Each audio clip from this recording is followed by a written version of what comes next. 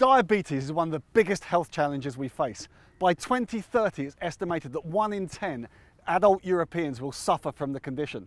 But there are ways to treat it and even prevent it. Today, for World Diabetes Day, I am joined by international football legend Gary Mabbutt, who knows more about diabetes than most of us. And he's still got it. So, Gary, you were diagnosed with type 1 diabetes at 17 years of age. Uh, how did that come about? I was already a professional footballer uh, with Bristol Rovers playing in the English second division. It was just after Christmas. I started to feel a bit lethargic. I was being very, very thirsty. I was drinking a lot of fluids. And we played a game away at Leicester. And I probably had the worst game of my career. I went to the club doctor, he did a test, and within five minutes he said, Gary, you've got diabetes. Explained to me about what diabetes was, had to be on injections for the rest of my life. They said I was a type 1 diabetic, which happens to, to younger people. Um, and my whole diet would have to change. How did you feel at the time when you were diagnosed? It was all a huge shock to the family.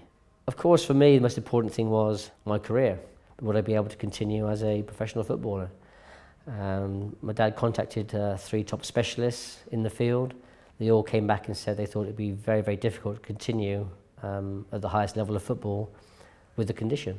He contacted another person who was in London, uh, and this person came back and said, look, it hasn't happened before for somebody this young to have uh, diabetes and to uh, be at, play at this level, but let's give it a try. And uh, you know, fortunately, he was proved right. I remember looking up to my father and saying, look, Dad, I'll be the first person with diabetes to play for England. As a professional football player, how did you have to adjust your lifestyle to manage the condition? Well, on match days, uh, but of course, I had to get a number of carbohydrates inside me to counteract the insulin I was taking. So we had to find a way to get that carbohydrate inside you without having too much bulk. I was using digestive biscuits at the time. I used to love fizzy drinks all the time. I used to obviously used to have sugar in my tea. But I was able to use, you know, substitute that with low calorie sweeteners, which meant that I was still able to enjoy the food, but obviously without the sugary intake.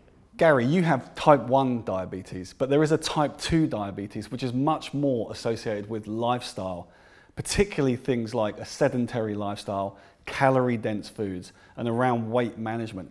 Can you give us some idea about the difference between the two? Well, type 1 is generally when you're diagnosed when you're a youngster. Then, unfortunately, once you're being diagnosed with diabetes at a young age, you're on injections probably the rest of your life. Type 2 diabetes usually occurs when people are getting older and it's down to lifestyle.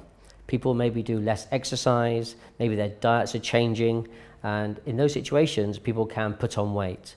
And they are the conditions whereby type 2 diabetes can unfortunately kick in. It is preventable if people look after themselves, they exercise on a regular basis. You know, there are ways that you can stop it happening. And you know, it's vitally important for anybody, not only people with diabetes, but as they get older, to keep themselves fitter. So how important is physical activity with diabetes? Physical exercise is very important for anybody, not just people with diabetes. Exercise will lower your weight. Exercise will lower your blood sugars. It will lower your blood pressure, lower your bad cholesterol in the body. Not only that, it will help with the relaxation, it'll help get rid of the stress in you as well. So all those things are very helpful for anybody, not only people with diabetes. Gary, how do you spread the word? Is there enough being done to educate people about diabetes? I'm patron of Diabetes UK, so we work extremely hard to try and get out the message to people about diabetes and the conditions that affect people with diabetes.